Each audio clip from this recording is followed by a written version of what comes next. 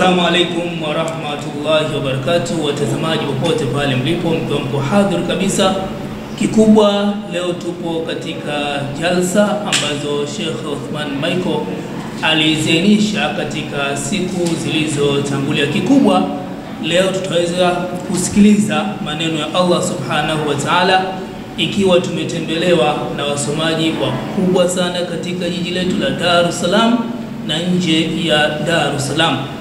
Wageni hawa shekhe ataweza kuwabainisha mmoja na mwingine nini wametukusanyia katika siku ya leo, na katika kuongozea kipindi tutakuwa nami niite Ali bin Kondo, lakini nimpe fursa mwenyeji wetu Sheikh Uthman Michael kwa kusema. Sheikh, karibu. أعوذ بالله السميع العليم من الشيطان الرجيم بسم الله الرحمن الرحيم حياكم وإياكم وجنة الفردوس مثواكم أيها المشاهدون الكرام السيدون والسيدات السلام عليكم ورحمة الله وبركاته Waalaikum salaam warahmatullahi wabarakatuh. Ndugu zangu wapenzi watazamaji wa online nyingi zilizokuwepo mbele yetu, takriban sita mpaka saba. Mbele yetu iko Masjidi Mtoro online, Saimgwao online, Omar Bakari online, Othman Michael online na Adelink online na nyingine ya Zanzibar imetoka jina lake insha Allah, Riyadh online. Alhamdulillah, tunashukuru sana kwa mujahada wao mkubwa huu eh, wa kutangaza habari mbalimbali za Kiislamu. Ndugu zangu wa Kiislamu, niko na rafiki yangu shekhe wangu mpenzi wa jina wangu. Ah, siku moja nilikuwa na rafiki yangu mmoja mtu wa Saudi. Basi yule rafiki yangu nilimwambia katika maneno ghali, nikamwambia kwa Kiarabu ukimwambia mtu pole, akaambia mwambie atadhir, nikamwambia mwambie pole, mm, wallahi mushahali naye anakaa Saudia. Nikamuuliza swali jengine mapacha, ili hakulipatia, lakini mimi nilikuwa nalo, kaambia itakuwa tauam au tauamani sasa yale maneno matata matata yale, lakini nikamwambia mtu anaitwa Wajina ili tulikesha. Sasa huyu Shekhe Uthman ni wajina wangu, yuko Temeke, lakini ni imamu wangu. Shekhe huyu bwana alikuwa zamani, mesahau anaitwa Uthmani nani, lakini alikuwa ni imamu zamani katika masjidi Lailatu Khair au nuru Yaqin. Ehe, Uthmani Kiguru Kiuluko. Kiuluko, basi alikuwa imamu pale, imamu mkuu, na kipindi hicho akiniita mara kwa mara kwenda kutoa khutba. Kwa kweli, baada ya hapo hakuniita tena, kwa sababu nafikiri alibadilisha msikiti kwa kadari za Allah na haukuwa tena mikononi mwake. Imepita karibia zaidi ya miaka kumi. Sasa juzi alikuwa na hadhara yake akanialika, nami hali yangu haikuwa nzuri, lakini nikajitahidi kwa hamu ya kwenda kumwona tu, na nilivyomwona nilipoa, So ndio ilivyo wapenzi. Mpenzi mara nyingine akiumwa, ukienda kumtembelea na wewe unaumwa, kama Sayyidina Abubakar na Bwana Mtume nasema zurtu habib nimemtembelea kipenzi, basi maridhu na mimi pale pale nikaanza kuugua. Haya ni maisha ya wapenda nao. Nilivyofika kule nikasema afadhali nilivyoenda, na mimi ningemwambia yale maneno ya Kiarabu atadhir, ingekuwa habari kubwa. Nikaenda kwenye hafalati mauli, nikapata sharfa ya kutoa kilma lakini nilipofika pale ah, nikakutana na watu wawili muhimu sana ambao wana historia nzito, ni Sheikh Hassan kule mwisho kule na Sheikh Muhammad. Hawa mabwana hawa Mwenyezi Mungu amewajalia neema kubwa sana ya as-sauti, na hizi sauti si wakati ya kuzitolea ushahidi, lakini kuna kitabu kinaitwa almausuatu lyusufiya fi bayani adillati sufiya. Ni kitabu cha Shekhe Yusuf Khattar kutoka Yaman, kitabu kikubwa, ameweka na picha yake kama sijakosea, kwenye ukurasa 137 alieleza adilla fulani fulani, akaidhukuru aya ikisema wa kullan naqussu alayka min anba'i rusul ma nuthabbitu bihi fuadaka ila akhir aya, kwamba Muhammad alayhi salatu wassalam anaambiwa na Mola wake, tunapokusomea historia au tunakusimulia historia za walopita kabla yako, linuthabitu bihi fuadaka ili uongezewe imani, imani yako iwe stronger. Kwa hiyo hii kusomewa habari za walopita, likai tuthabitu qalbu nabish, ni kwa ajili ya kufanya imani yake iwe stronger. Kwa hiyo akawa anasomewa maulid, mazazi ya Ibrahim, akawa anasomewa mazazi ya Nuhu, na nashatihi, kukua kwake, nubuwatihi, imani yake. Sasa shekhe akasema, wa nahnu alyawm nahtaj na sisi tunapaswa leo an naarifa ambaihi wa akhbarihi, nasi tunapaswa kujua sana historia ya Bwana Mtume Muhammad kai afidatina, ili nasi nyoyo zetu ziwe madhubuti, afu zipate kumjua Mtume. Sasa shekhe, siku miongoni mwa siku nilikutana naye Machimbo. Shekhe huyu alikuwa akisoma historia ya Bwana Mtume Muhammad kupitia kitabu cha Barzanji, na mimi natiania insha Allah, natiania lakini sio ahadi.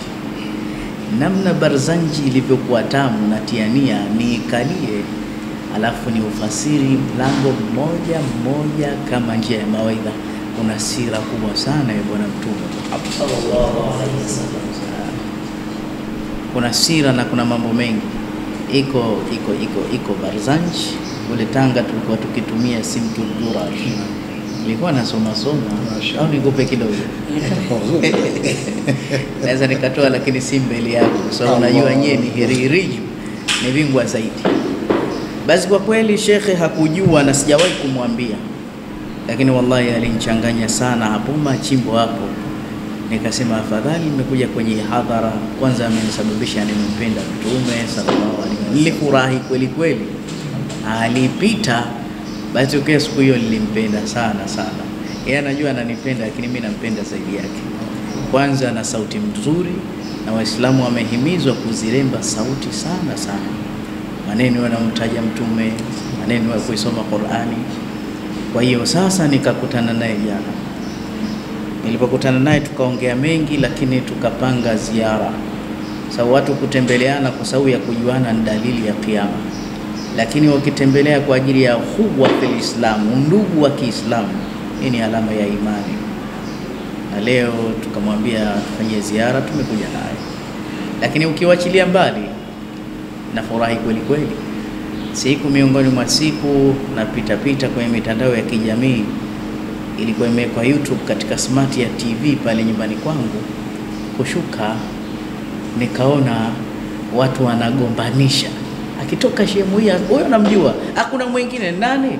Nikamwona Sheikh Hassan. Sheikh Hassan bwana, nilimjulia hapo, alipomtizama nikachoka kabisa nikachoka kabisa.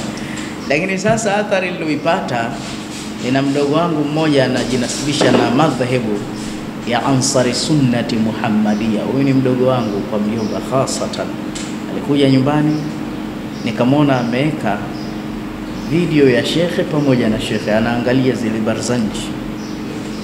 Nikamwambia, haya, mbona unaangalia, utaka uradi baba? Akaambia, sina uobavu wa kuradi. Kwa nini unaangalia bid'a hizi mchana kweupe, na kwa msimamo wako wewe ni bid'atun sayya Maanake ukisema hii ni bid'atun sayya, kinyume chake kuna bid'a nzuri, tusichokozane sana. Akasema shekhe, mimi ni hafidh alqurani. Kweli ni kijana amefika marhala thanawi,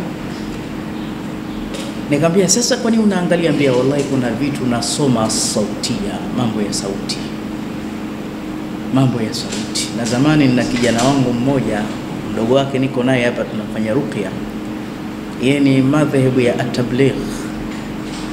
Basi huyu aliniambia, shekhe, mimi nitaziwezaje kusoma vizuri Qur'ani? Nikamwambia, mwanangu, jitahidi sana uende kwenye hadhara ukafundishwe kuimba kaswida utafundishwa hii ni sauti ya kwanza, sauti ya pili. Wako ulama yuko ndani ya Saudia kharijiyun anasoma vizuri, lakini hata ukimwambia hii ni sauti gani hajui. Kwa hiyo mambo ya viraati mbali na makamati, mimi nao vijana wametoka South Jamia wamesoma mashallah, viraati utapenda, hii ni hasi, hii ni warshi, lakini makamati hawayawezi kabisa makamati nayo yana uzuri wake.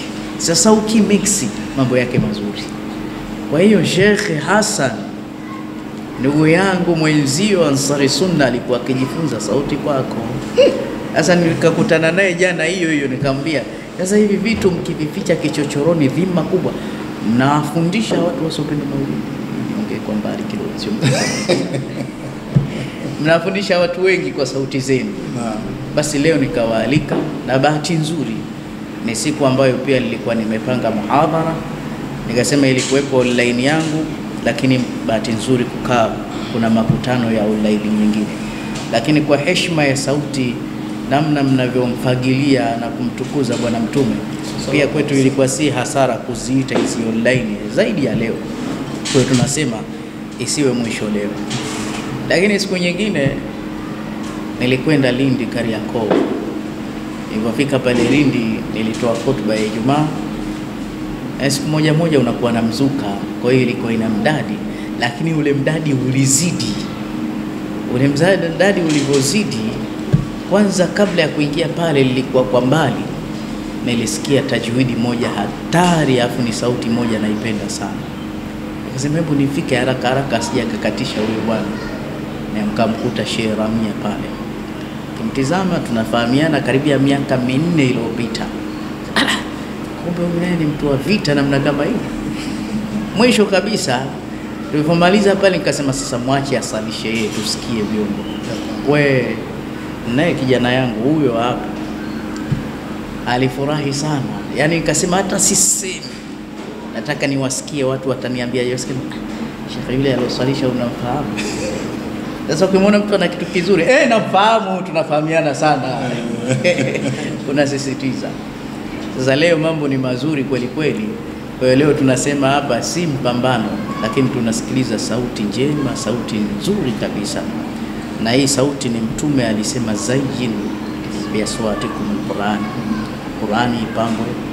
Na iko hadithi nyingine, kile kisomo kinachosomwa kwa sauti nzuri basi Mwenyezi Mungu anakisikiliza kwa tawaju kuliko kile kinachosomwa hovyo hovyo. Na hata tukausiwa tukisoma sauti nzuri Qur'ani, shairi, tutafute ajmal al-aturi, manukato mazuri. Na hata mtu qiyamu laili, wanawazuoni wamesisitiza akiswali mtu usiku qiyamu, asisali silence, kimya kimya, ajipake atur, afu asome kwa sauti. kwa sababu akisoma kwa sauti, ile sauti mwenyewe ina muathir na Mtume sallallahu alaihi wasallam alikuwa na sauti nzuri sana kuliko sahaba yoyote. Mtume alikuwa akisoma, habari zake ni nzito kabisa. Kwa inshallah, na leo tusikilize. Nafikiri kwa heshima ya Qur'an tunaweza tukaanza Qur'an, lakini wote ni mafundi. Kwa hiyo watakachotupa iwe ni kasida iwe ni, ni, ni, ni historia ya Bwana Mtume kwa njia ya milango, iwe ni Qur'ani sisi tutaridhika insha Allahu kheri, lakini mtusomee hizi sura maarufu. Manake zamani mimi, kuna mzee mmoja alishawahi kunilaumu, asema nyie mashekhe wa siku hizi bwana, mna tabu, mbona hizi sura ambazo Mwenyezi Mungu Subhanahu wa Ta'ala akazishusha kwenye kitabu chake hamzisomi, mnasoma sura za juu juu tu. Nikamwambia sura gani? Asema zile sura, audhu billahi minash shaitani rajim, alif be te pe anayosalishia na hizo hizo, msitusomee. Shukrani, karibuni sana.